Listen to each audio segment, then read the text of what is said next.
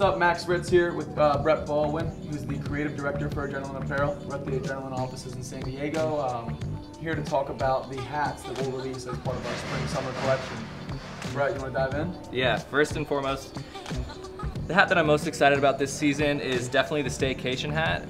It's a new fit, new fabric, new hat for us. Um, it's really lightweight, super fun for summer.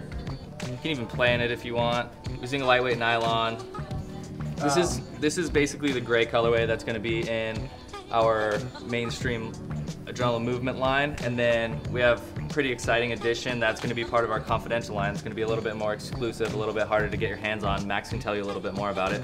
Yeah, the Adrenaline Confidential program was built pretty much to reward some of our very best uh, partners and retailers and such, and uh, we do that by giving products like these uh, they have access to, whereas some of the wholesale stuff does very, very well, and you pull out like a, like a neon for uh, you know, a really great partner. So look for these in select retailers, look for these in all retailers. Um, this will be a fun line. I mean, as you can see, a lot of these colors and a lot of these styles are pretty undeniable right now. I mean, this is a, a our take on a classic look. It's snapback. It's made by great manufacturers, so the fit's all there. And um, we're just stoked to have a line of hats that's ready to roll, and personally with the Terp colors.